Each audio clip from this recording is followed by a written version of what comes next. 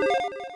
When one game is successful, there are a ton of others just like it. But these 10 games take it even a step further than that. Today, GameRanx brings you 10 shameless clones of other games. Number 10, it's called Bloodbath Kavkaz, but it used to be called Hotline Kavkaz. And that should tell you exactly what this game is. However, where Hotline Miami actually has a definitive style to its graphics and a refreshing take on a very old school genre, Bloodbath Kavkaz is Hotline Miami in Russia. In Soviet Russia, Miami hotlines you. Also, where'd you make those graphics? MS Paint? Oh, I'm sorry. MS Paint is actually used for a lot of good graphics. It's just not putting any time into it, that's all. Sorry, my mistake. Number 9. Uncharted is a great game. I know exactly why Unearthed Trail of Ibn Battuta was made. I just don't know how it was made. This is just like an obscene poop of a game. I think the developers may have batuta'd, and this was the result. Get it? Cause farts.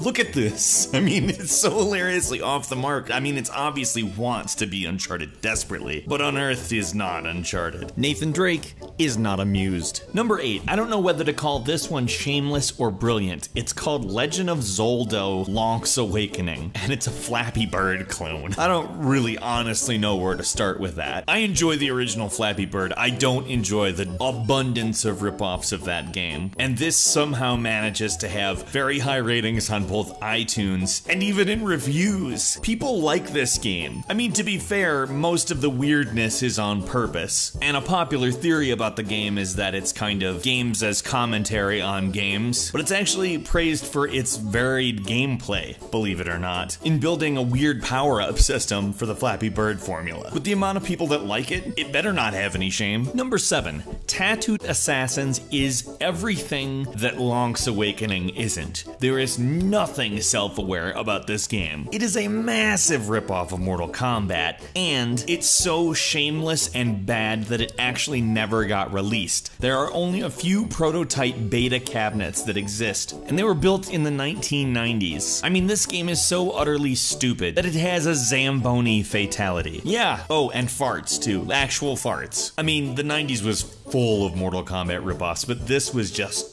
I mean, you can see it, right? I don't have an adjective for this. Number 6, Final Combat is Team Fortress 2. I mean, it actually has its own original code, but I, look at it, it's Team Fortress 2. Somebody in China thought, you know what? We do such a good job making everything else cheaper and shittier that we should do a Team Fortress 2. I mean, there is no shame from the style of every character to the interface, just everything about it. It's Team Fortress 2. In fact, if I didn't say it was a game ripping off Team Fortress 2, you would probably go, oh hey, they added some characters to Team Fortress 2. That's how much it looks like Team Fortress 2. Number 5 is Star Warfare Black Dawn, which is a mobile game that looks a lot like Borderlands. Now, they've done something clever in not using the word border in the game's title, but Star Warfare, that just sounds like something else I've heard of. Okay, aside from the fact they're probably using Star Wars as a keyword for the search results in the Google Play and iOS stores, they're also claiming to be the very first RPG slash first person shooter, which okay. I'm sure nothing else like that has ever happened. I mean, never mind that if you include spells as first person shooting, Elder Scrolls is that. But going back to Borderlands, that's kind of their thing, isn't it? Character based RPG, first person shooting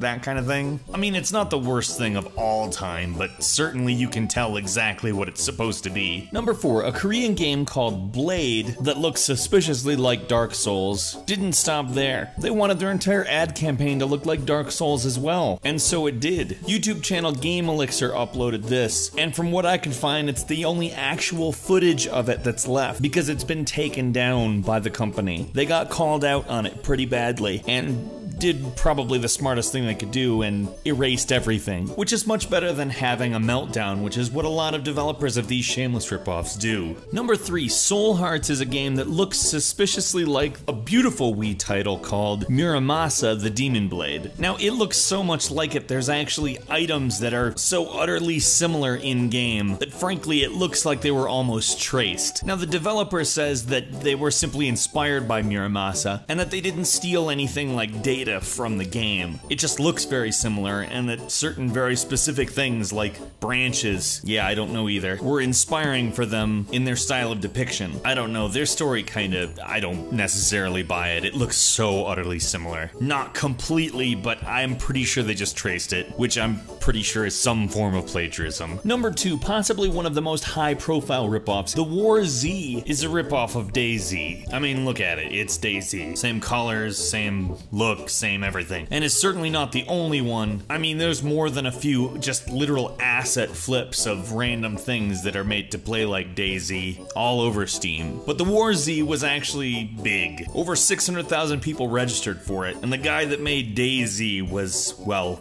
not happy about that. The War Z was taken off of Steam, but eventually came back on with a different name called Infection Survivor Stories. It's still the same game though, so honestly, support the original, go with DayZ. And finally, number one, Crouching Dragon Legends caused Unico Interactive, the makers of the game, to get in trouble. I mean, $1.6 million in trouble. And look at this screenshot of the game. It's the same thing. It's almost just a reskinned Hearthstone. It's been taken off various app stores. I wonder why. Probably the copyright violation stuff. But even the logos, the one on the top is the Chinese Hearthstone logo, and the one on the bottom is Crouching Dragon Legends. I mean, that's just wrong. Shameful, one might call it. And I know this is gonna generate some good discussion, so I will see you in the comment section. Also, please do us a big favor, click the like button. If you're not subscribed, now is a great time to do it. We upload brand new videos every single day of the week. As always, we thank you very much for watching this video, and we will see you next time right here on GameRanx.